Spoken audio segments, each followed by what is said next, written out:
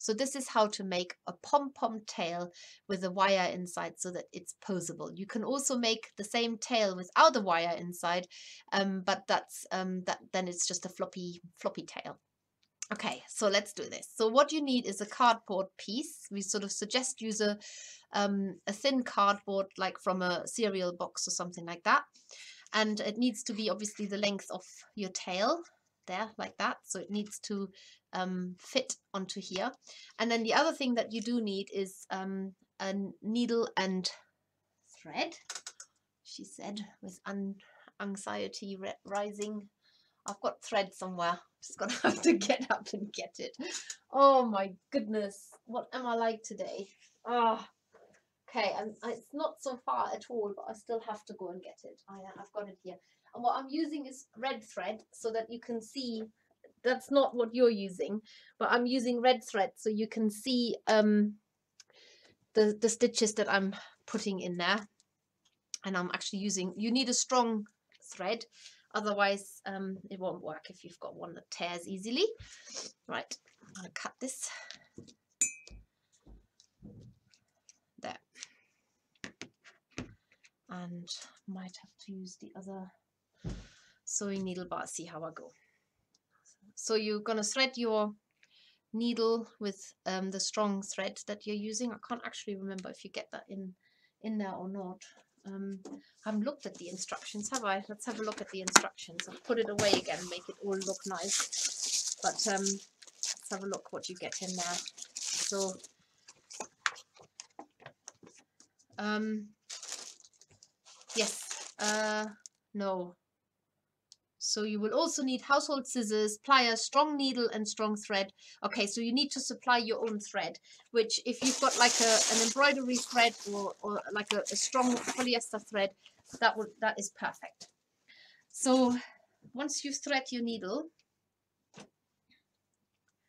you lay the tail onto here. Have that at the ready. But now you're going to start wrapping the um, the whole tail up with wool first.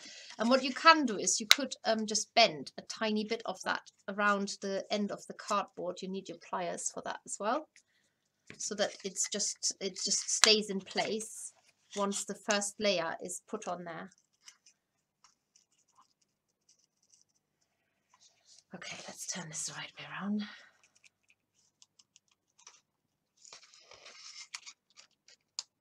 I'm not really that clumsy normally. So you can trap the, the cardboard at the end by there, pinching the wire into it. Got your 20 centimeters there. Then you start out, um, well, you can start out however you like, but I've started out with black on, on the cut. And you've got your wool batts, so you have to be um, obviously careful that you don't tear this. Try and keep it in one continuous um, length. Wrap it around. This is this is like making a pom-pom, but you're making a long pom-pom basically.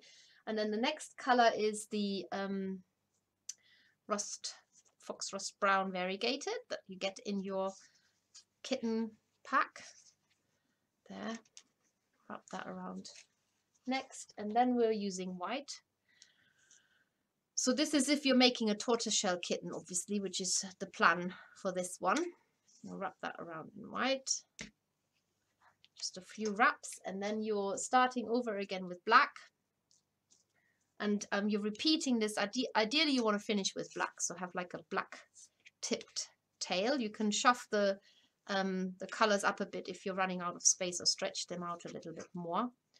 Go on to that rusty color again. Uh, round white. How many am I doing? How many colors? One two. Yes so I'm nearly at the end here. I think my cardboard was a tiny bit longer than um, I said originally. There. And then finish off with the black. There a bit longer this one for a tail for the end of the tail Okay, so you're just literally layering the wool on there. It's not it's not put on too thick. I mean, you can make it thicker. You just end up with a bushier tail. And then all you're going to do is, and this is the important bit, you're now going to sew along here, but you have to sew so that you trap the wire on one minute on one side and then one minute on the other side of, um, just going to stretch that cut out. So whether you start at the top or at the bottom, it doesn't really matter. So you're going in, first of all, and secure your thread. And ideally, if you can see this, I don't know if you can see this, but you need to sew one from one to one side to the other um, so that you trap the wire in the middle, but you can't really make huge, um, I'm going to put a knot on this now. Don't make um, don't make the, the stitches too wide because and, and you will see in a minute why you can't make them too wide because what you're creating right now is you're perforating the cardboard with every stitch that you're putting in there. And uh, when you take the cardboard out the stitches need to be quite close together. So they need to be close together in in length but also in width. So oh this is all crinkled up Sorry, I just need to sort my thread out. I've made a bit of a mess of this. There.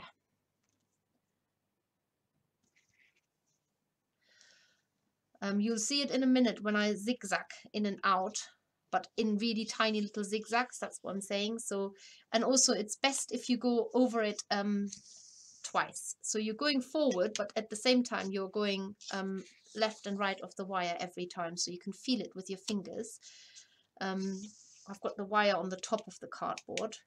So you need to move forward along the tail and get as men get as much of the of the wool as you can, which is why you need to go over it two or three times.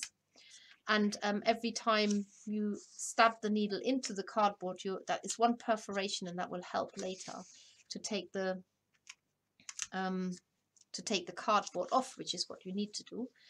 Um, but you also so you need to trap the wire and you need to trap the wool um, with all with the stitches. So you can't really go um, along it too often. So I would definitely say two to three times. And trying to do this as fast as I can so you don't have to watch me and it looks like um, oh you can see it probably best now with the white stitch the red against the white. So I'm going in um, through the cardboard and I've got my wire now trapped in the middle of that stitch. If you miss it once, if the wire isn't trapped, don't worry too much about it because, um, you know, if you miss once, it's not the end of the world. There will be lots of other stitches that has trapped it. So don't, don't be too worried about uh, missing it, but um, it's more important that you have the stitches nice and close together so you don't have, um, you don't end up with lots of um, cardboard left in the tail um, and you you need that middle line to be quite uh, neat because that's going to sort of disappear into the middle of the tail but you don't want it to be a fat uh, center. You want it to be quite thin so that it um, integrates straight away I, I don't know if I'm making any sense whatsoever, but if it, if it helps you at all to look at our website where we have got a written tutorials, um, and then of course you get this in our box as well with a that makes the kitten. So I'm um I'm gonna try and do this as neat as I can to see if I get away with I might just get away with one but I really highly recommend that you go over this two or three times um, so that you don't have to see me do this again when I'm coming back on the tail and then I'll show you what happens next once you've sewn along the tail um, yeah, so so whilst I'm doing this, I am going to just tell you a little bit more of what we're actually um, up to. So we've got uh, an exciting opportunity to do um, um, a, a, tutorial for the uh, Royal Voluntary Services on their online, um, well, it's a, it's a Facebook group called the Virtual Village Hall. I don't know if any of you have come across this, but it is a really exciting um, opportunity because, um, well, working with them and supporting a really good course. And that is happening on the 3rd of December at 11 a.m. I do believe. Um, Emma will put me right if I said that wrong, but no doubt she'll be sharing a link in a minute. And so basically, we uh, you can you can get your um, heart with ribbon pack now, which um, is what we are uh, we've put together as a product. Remember, you can use your discount code if you're ordering today, the 30th of November, and you can make in effect three hearts with ribbon. I'm just going to put them here so you can look at them while I'm sewing. You can make um, these very same three hearts with the very same ribbon there. And, um, and it's a free tutorial. It's um, only half an hour long, so it's not, um, it's just short, short and sweet. And um, that is on Facebook. Look for the Virtual Village hall. um, and if you want to uh, get your heart with ribbon pack from us, then you can buy that um, now. We're selling this now. You get the instructions in the pack as always. So it's not just the wool and the materials, but it doesn't have any tools in it. So you need to use your own, own tools. Um, and then you can join me live on Facebook and Emma will be there as support as well on um, Thursday this week at um, 11 a.m., which is the 3rd of December. And we can make um, a lovely heart together and, um, yeah, have a bit of fun. So that's one thing that's happening.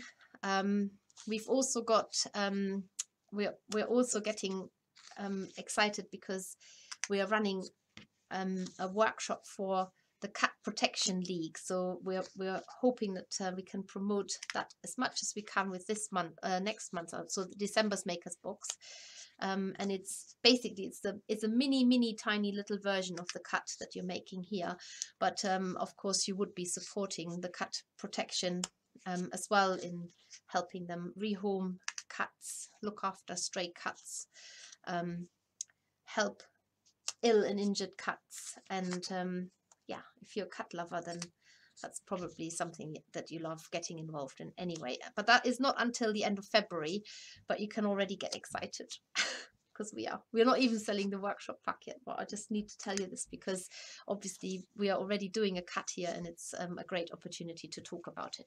Right, I'm nearly at the end. I've made a bit of an extra loop here. Oh well, never mind. I'm just going to cut that off. Um, so I'm nearly at the end and I'm going to show you the next bit, which is um, when you do this is quite nerve wracking. So I do want to cover that um, because I, I don't want you to be left on your own with this if you um, have never done this before. So what you would be doing is you're going over this um, again at least one more time, if not twice. But I'm going to leave it like that now because um, it will be fine just for the purpose of demonstrating and I'm going to cut the last bit off there.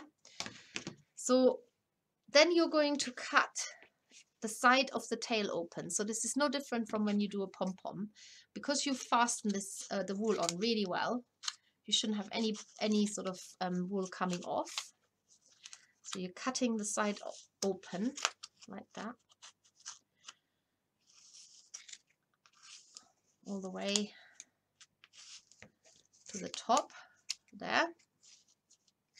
And then you do this on the other side.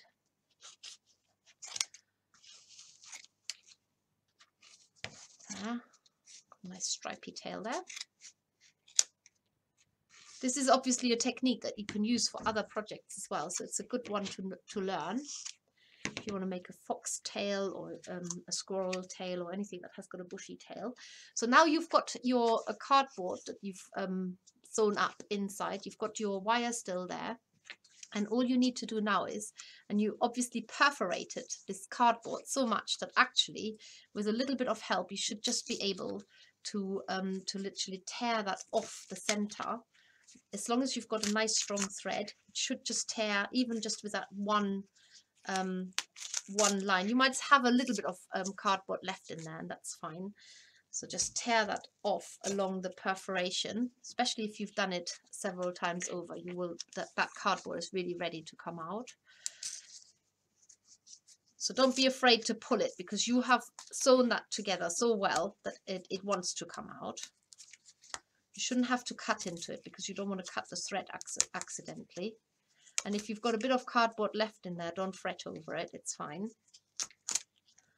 Yeah.